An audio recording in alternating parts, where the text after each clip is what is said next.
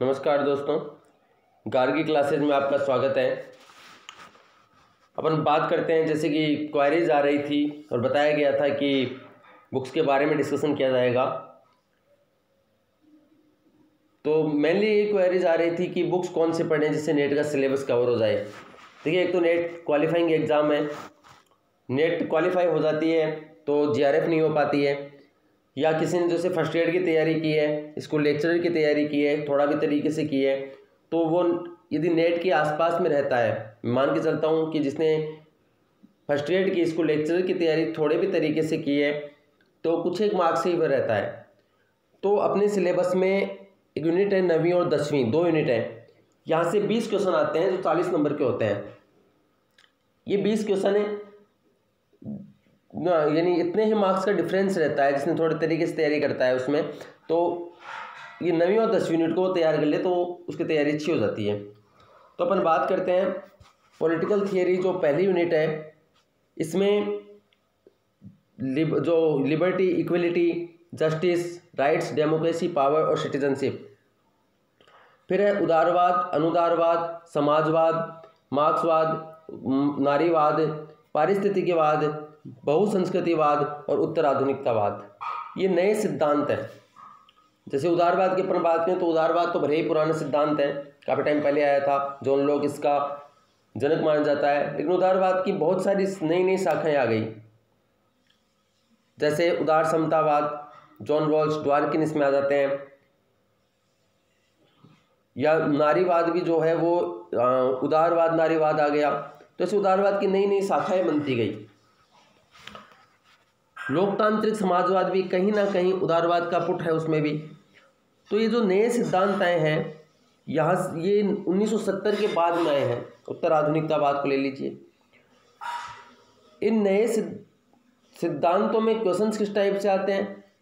जिसने थोड़ी भी तैयारी की है तो उसको या ऐसा लगा है कि नए सिद्धांत आ रहे हैं, कहाँ से आ रहे हैं, कहाँ से पढ़े हैं, नहीं पढ़े थोड़ा सा इतना सा कन्फ्यूज़न रहता है। तो उन इसके लिए आप पहले आरपीएससी के तीन पेपर बताऊँगा आपको। एक तो आर एस दो हज़ार बारह का पेपर प्री का पॉलिटिकल साइंस का। उससे मैं सब्जेक्ट हुआ करते थे, तब की बात बता रहा हूँ। 2013 का स्कूल लेक्चरर का एग्ज़ाम 2014 का कॉलेज लेक्चरर का एग्ज़ाम और 2018 का स्कूल लेक्चरर का एग्ज़ाम ये आरपीएससी की साइट पे आपको ये पेपर मिल जाएँगे। इसमें ज़्यादातर जो क्वेश्चंस थे, वो 90 70 के बाद में डेवलप हुए सिद्धांतों से आए हैं। तो नाइनटी सेवेंटी के बाद की इनके लिए इस यूनिट को यदि अपने को कवर करना है तो दो किताबें मेनली पढ़नी है। एक तो है ओ पी गाबा की एनसाइक्लोपीडिया ऑफ़ पॉलिटिकल साइंस ये बहुत हद तक आपके सिलेबस के जो नए नए टॉपिक्स हैं, जिनके बारे में अपने को पता नहीं है, जानकारी नहीं है, उनको भी ये बहुत ही अच्छे से कवर कर लेती है बुक उनके बारे में अपने को सार्षिक दृष्टि से एक बार पता चल जाता है और बहुत टॉप बहुत ही अच्छे से दिया गया है इसमें। दूसरी बुक है समकालीन राजनीति सिद्धांत। ये जोधपुर में जयनारायण व्यास यूनिवर्सिटी के डीन हैं Naresh Dadich political science department के। उन्होंने निकाली है। इसमें नए सिद्धांतों को बहुत ही अच्छे तरीके से दिया गया है। नए सिद्धांत आपके बहुत बढ़िया क्लियर हो जाएँगे। ये दो बुक है पहली यूनिट के लिए। फिर अपन बात बात करते हैं पॉलिटिकल थॉट की। तो पॉलिटिकल थॉट में जिनको अपन वेस्टर्न पॉलिटिकल थॉट बोलते हैं, उनके लिए दूसरी यूनिट, पाश्चात्य राजनीतिक विचार। एक जगह पे सारे जो थिंकर हैं, वो क्लियर हो जाएँ, एक जगह पे मिल जाए, एक ही बुक में मिल जाए, ऐसा देखो मेनली होता नहीं है। फिर भी मैं आपको कुछ बुक बताता हूँ, जैसे पाश्चात्य राजनीतिक विचार के लिए एक तो आप बी एल फड़िया की नई बुक ले लीजिए, जो अभी आई है। उसमें बहुत सारे थिंकर्स यहाँ से कवर कर जाएँगे अपने। दूसरी, पाश्चात्य राजनीतिक विचार के लिए ओ पी गाबा की बुक ले लीजिए। यहाँ पर ग्राम से तक के सिद्धांत आपने को मिल जाएँगे। इसके अलावा उदारवाद की शाखा में जो नव उदारवाद में विचारक आते हैं लॉजिक बर्लिन हेक फिडमैन, इनके बारे में भी यहाँ पर बहुत ही अच्छे से डिटेल से दिया गया है। तो ये दो बुक आप ले लीजिए दूसरे यूनिट के लिए।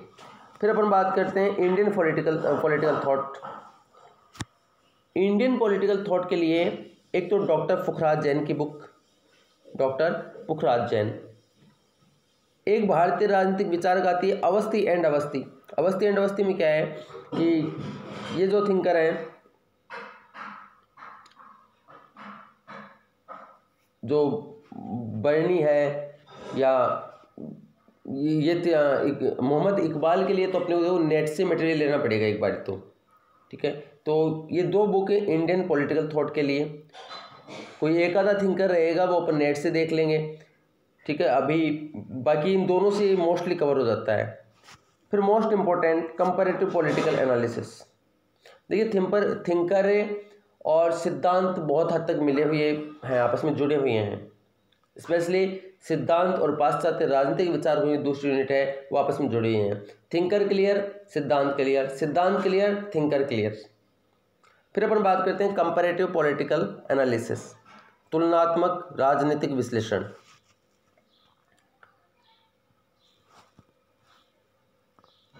तुलनात्मक राजनीतिक विश्लेषण के लिए एक तो सी बी गेना की बुक आती है। सी बी गेना ठीक है, जब अपन कॉलेज लेक्चर के सिलेबस के बारे में बताऊँगा तो मैं आपको और भी बुक्स बताऊँगा जो इसमें तो क्या है, ये कवर कर लेती है। सीबी गेना ही एनफ होती है जो कवर कर लेती है। और यदि थोड़ी अंग्रेज़ी आपको समझ में आती है, आप पढ़ पाएँ यदि तो एंड्रयू हैवुड की बुक आती है तो वो भी आप देख लीजिएगा। और एक यहाँ पे तपन बिस्वाल की बुक, तपन बिस्वाल की बुक, दोनों बुकों का नाम ये एक ही है, तुलनात्मक राजनीति, तपन बिस्वाल। तपन बिस्वाल साहब की बुक आती है, एक सी विज्ञाना की बुक आती है, तुलनात्मक राजनीतिक विश्लेषण। ये पूरे सिलेबस को बहुत ही अच्छे से कवर कर लेती है। भाई, कुछ नई टर्मिनोलॉजी जो है, वो मैं आपको बताऊँ कि अपने को एनसाइक्लोपीडिया ऑफ़ पॉलिटिकल साइंस है, वहाँ पर भी कुछ टॉपिक मिल जाएँगे तुलनात्मक राजनीति के, जिससे अपना सीनेरियो क्लियर हो जाएगा। तो तुलनात्मक राजनीतिक विश्लेषण बुक को आप कंप्लीट पढ़ ही लेना ये अपने सिलेबस में हर टॉपिक को कहीं ना कहीं कवर कर रही है। फिर पांचवी यूनिट अपनी आती है अंतर्राष्ट्रीय संबंध। तो पांचवी और छठवीं यूनिट के लिए एक ही बुक है बी एल फड़िया बाकी यहाँ से जो क्वेश्चन आते हैं वो करंट से रिलेटेड आते हैं।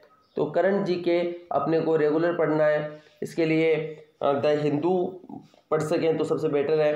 बाकी दैनिक जागरण, या दैनिक जागरण भी उपलब्ध नहीं है तो दैनिक भास्कर का भी लेवल ठीक है। दैनिक जागरण पढ़िए, आप जनसत्ता पढ़िए, या जो डिबेट होती है, सरोकार जैसे प्रोग्राम देश देशांतर जैसे प्रोग्राम आते हैं, उनको आप देखिए राज्यसभा पर, वहाँ से क्वेश्चन आते हैं। लेकिन एक बात सीनेरियो क्लियर करने के लिए सिलेबस को कवर करने के लिए बी एल फड़िया की बुक है, ये अपनी दोनों यूनिट को कवर करती है।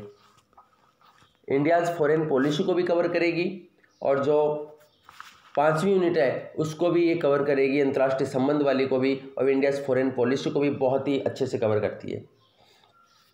फिर अपने सातवीं यूनिट की बात करते हैं political institutions in India seventh unit और एट्थ यूनिट इन दोनों के लिए एम लक्ष्मीकांत बुक पढ़िए आप एम लक्ष्मीकांत से कवर करेगी और एम लक्ष्मीकांत की जो भारतीय राज्य व्यवस्था है उसके अलावा अपने को एम लक्ष्मीकांत की एक और बुक लेनी पड़ेगी, लोक प्रशासन।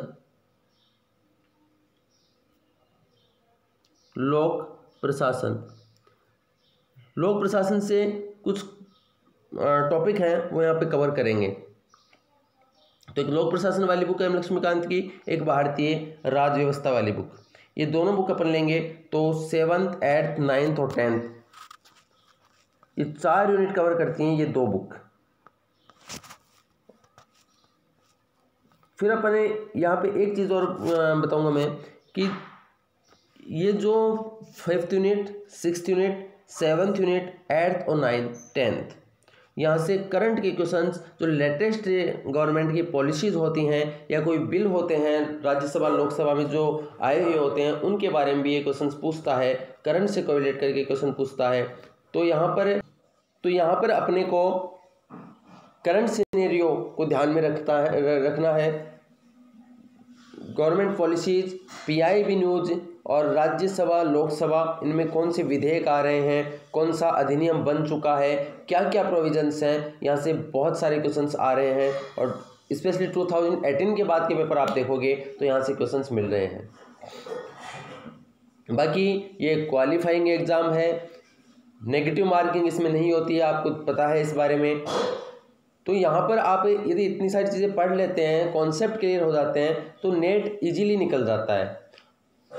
और अब तक यदि नेट निकल रहा है जीआरएफ नहीं निकल पा रही है तो उसका रीज़न यही है, ये आप खुद से पूछिए कि जो नवीं और दसवीं यूनिट है, उसको अपन ने कभी तैयार नहीं किया, या फिर अपन फ़र्स्ट फ़र्स्ट पेपर में कहीं ना कहीं कमी रह रही है। बाकी नेट क्या जनरल कैटेगरी को छोड़ दीजिए जनरल में बॉयज़ को छोड़ दीजिए, बाकी S C S T O B C और जनरल की महिला, इनकी कट ऑफ़ आप देखिए forty five fifty forty five fifty तक जा रही है। जबकि जनरल की सिक्सटी तक जाती है और जे के लिए सिक्सटी एट सिक्सटी नाइन तक परसेंटेज चली जाती है। तो थोड़ा सा आप तैयारी कर लोगे तो ईजिली इसमें हो जाता है। फिर मैं आपको ये कहूँगा कि नेट निकालने का पर्पज़ अपना है कॉलेज लेक्चरर की प्रिपरेशन करना, असिस्टेंट प्रोफेसर की प्रिपरेशन करना पीएचडी करना, एमफिल करना, यानी रिसर्च के एग्ज़ाम है ये। तो बहुत सारी बुक्स को, जितने बुक्स आप पढ़ेंगे उतने अपने कॉन्सेप्ट क्लियर होते जाते हैं। अलग अलग बुक से एक ही टॉपिक को पढ़िए, जैसे तीन बुक अपने पास में टॉपिक ले लिया उदारवाद तो उदारवाद को आप तीन बुक से क्लियर कीजिए। आपको उदाहरण बहुत अच्छे से क्लियर हो जाएगा, यदि हैं तो। बाकी नेट के लिए तो अपने पास में इतनी बुक एनफ है। और कॉलेज लेक्चर के लिए मैं बहुत ही बढ़िया तरीके से और भी बुक्स आपको बताऊँगा। नेक्स्ट संडे तक वो वीडियो आपके पास में आ जाएगा। थैंक्स